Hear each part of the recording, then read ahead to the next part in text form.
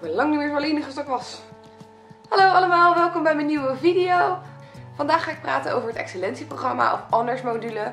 Ik ga vandaag vooral de term honors gebruiken om het even wat duidelijker te maken door de hele video. Over honors ga ik vertellen wat het precies inhoudt en waarom je het moet doen.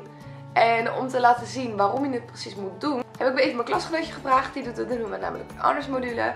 En zij gaat je even vertellen waarom zij het doet en waarom jij het zou moeten doen. Hi, ik ben Lotte. Ik ben een klasgenootje van Amber. Ik zit dus ook tweede jaar voeding en diëtiek en ik heb net mijn P gehaald. Waarom zou iemand excellentie moeten doen? Nou, je krijgt er zo extra punten voor. Het is gewoon heel leuk om iets extra's te doen. En je zit met een groepje van iedereen die het wil. Dus iedereen wil er echt zijn, dus iedereen doet zijn best. Dus je hebt een hele gemotiveerde groep. Uh, ja, het staat leuk op je cv, maar het is ook gewoon een heel leuk onderwerp. Ik bedoel, want je hebt verschillende excellentieonderwerpen. Ja, het is gewoon leuk om iets extra's dan gewoon je vaste standaard uh, vakken te hebben. En ga je hier nou weer excellentie doen?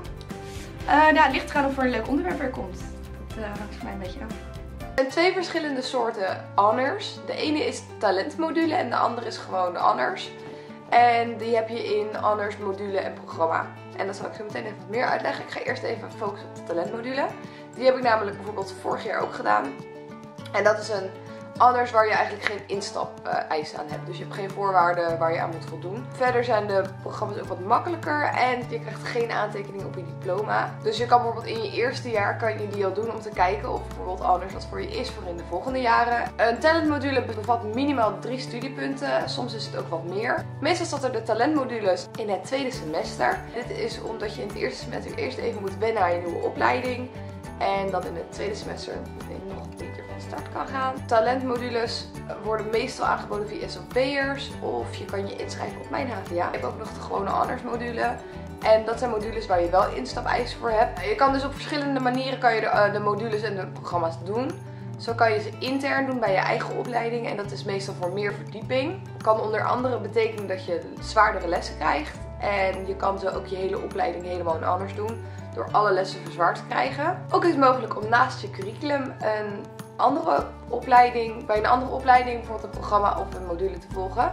Dat is waarschijnlijk wat ik ga doen volgende blok. Een anders module heeft minimaal 5 studiepunten.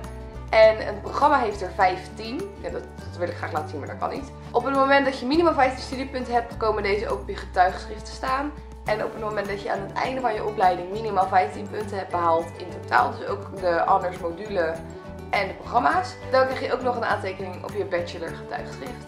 Wanneer je een anders doet buiten je curriculum, kan je ook nog je netwerk verbreden, omdat je vaak met heel veel verschillende mensen van verschillende opleidingen samenwerkt. In semester 5 ben ik van plan zelf ook nog een anders te gaan doen en dat is International Journalism.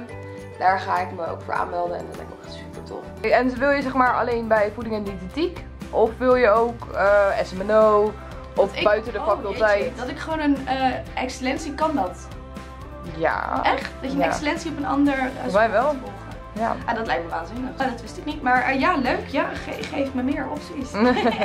Lijkt het je nou leuk om ook wat meer met anders te gaan doen? Of misschien ben je een nieuwe student en denk je nou in mijn tweede half jaar wil ik het echt wel gaan doen? Er zijn op de HVA best wel regelmatig excellentiemarkten. Daar staan zeg maar alle opleidingen, alle excellentieprogramma's. En dan kan je precies zien wat ze doen. Dan kan je meestal ook studenten spreken die programma hebben gevolgd. En dan kan je kijken wat zij ervan vonden en of het iets voor jou is. Meer informatie over de excellentieprogramma's staat ook nog op hva.nl slash excellentie. Hier kan je nog even kijken naar mijn laatste video. En hier kan je nog even klikken voor de andere video's van Kies Studie.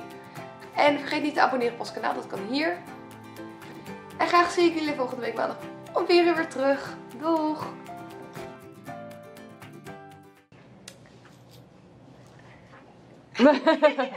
Super.